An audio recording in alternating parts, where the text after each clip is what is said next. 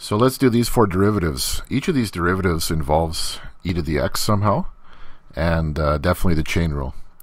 So let's uh, start with a. When we look at a here, um, this is going to be product rule, right? Let me just recopy it.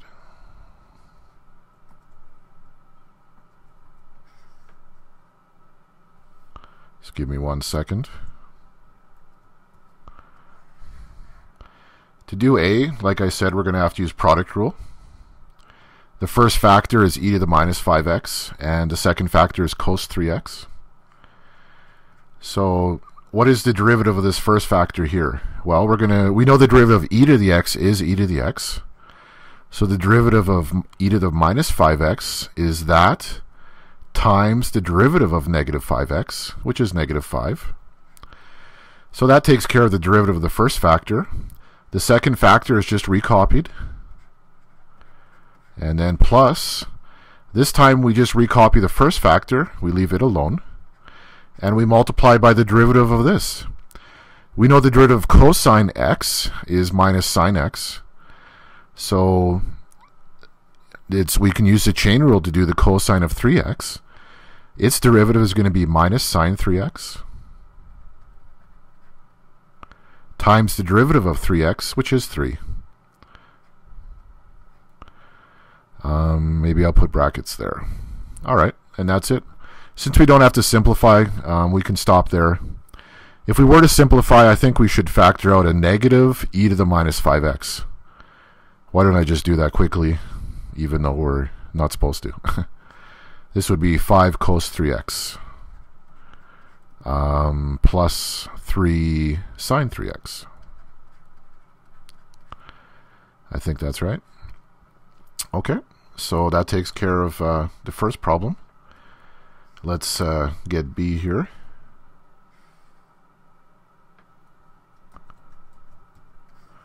What is it going to uh, look like?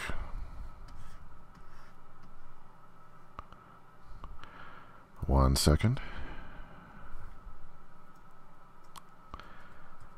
To do B, we're going to have to use the quotient rule, right? So let's do it.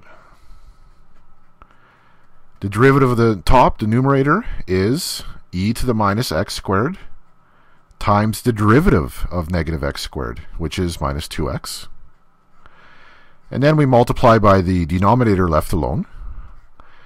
This is quotient rule, so we have a minus here. Then we leave the top alone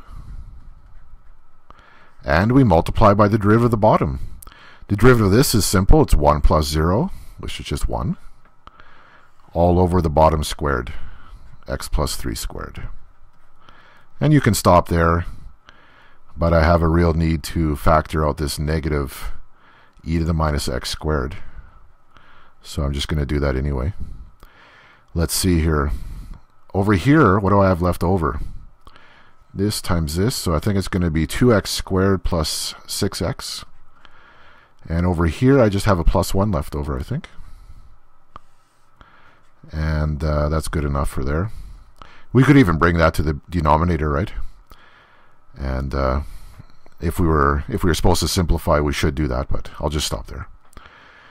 Did I do that correctly? 2x squared. The negative is gone, plus 6x. And here, all that's gone, plus 1 is left over. Great. Let's look at uh, question C here. So this one has a cube root in it. And um, usually when you take the derivative, it's good to, to get rid of that. Excuse me, that's not what I want.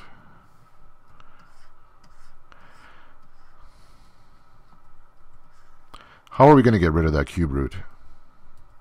No problem it's just going to be raised to the power of one third, right? So let's re be, let's not do the derivative quite yet. Let's rewrite it to make it into a better form, and then we'll do the derivative on the next step. So like I said, we re replace that cube root with a power of one third. Same thing. Now the derivative will be more will be nicer to do. We know that to do a derivative of a power function, we bring the power out front, Whatever's under here, we just kind of ignore it. Then we do this power minus 1. 1 third minus 1, that's negative 2 thirds. And then we multiply by the derivative of what we ignored. So we have to multiply by the derivative of 2x plus e to the 3x.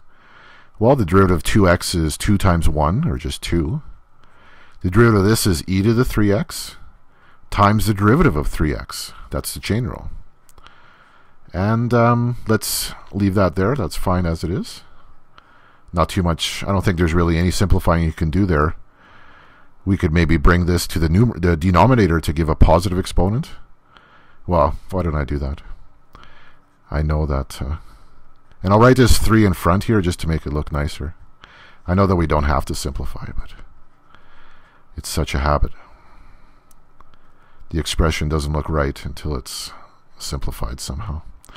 All right, so either one of these answers is fine.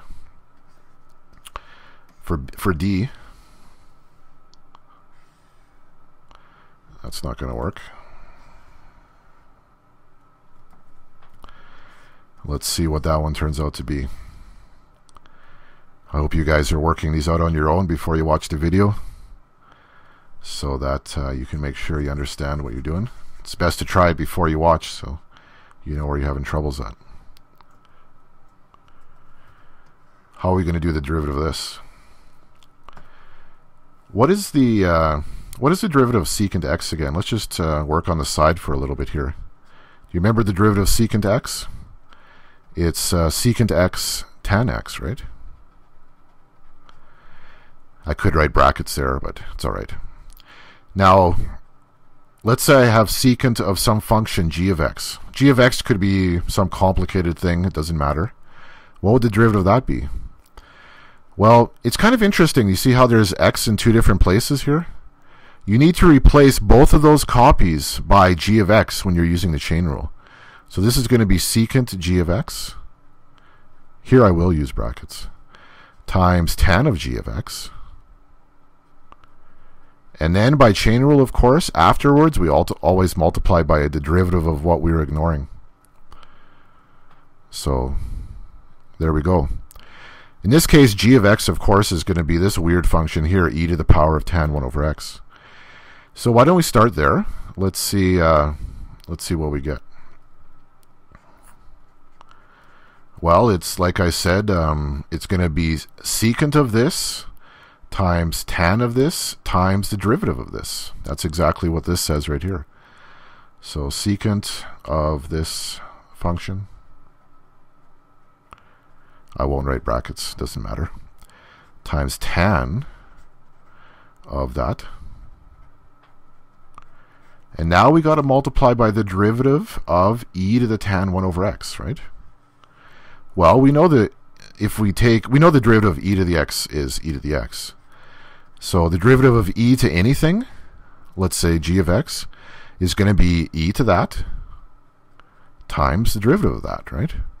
So here I'm thinking of g of x as now being tan 1 over x, which is, uh, well, the derivative of e to the tan 1 over x, according to this, is going to be basically itself, e to the tan 1 over x. But then afterwards, times the derivative of tan 1 over x. I'm running out of room. I'm just going to go down here a little bit. So where are we at again? We're at this stage right here. We have to multiply by the derivative of tan 1 over x. Well, let's see here again. We know that um, the derivative of tan x is what? The derivative of tan x is secant squared x. So if we take tan of g of x and we and we take its derivative, it's going to be secant squared of g of x times the derivative of g of x, okay? So right now we're we're thinking of uh, g of x as being 1 over x, right? So we get secant squared of 1 over x times the derivative of 1 over x, which I think by now you'll realize is negative 1 over x squared, right? I like to just memorize that actually, because if you don't memorize it, then you kind of have to rewrite it as a power of negative 1, and then this is negative 1 x to the minus 2, and then you need to bring it back down again. So instead of, you can just go straight from here to here if you just memorize that. But either way. And let's close off our bracket here. And that's the answer, okay? So I kind of like to think of this as peeling away the skin, or like take the layers of an onion, and you just peel it away. You first knock off the secant, right? That's what we did right here.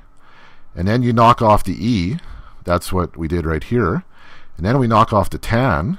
That's what we did right there. And then finally we reach the core, which is a simple derivative. Right? This is how chain rule always works. So here I think we applied chain rule like three times or something, right? Okay, so I hope that's clear. Let's keep let's do another video.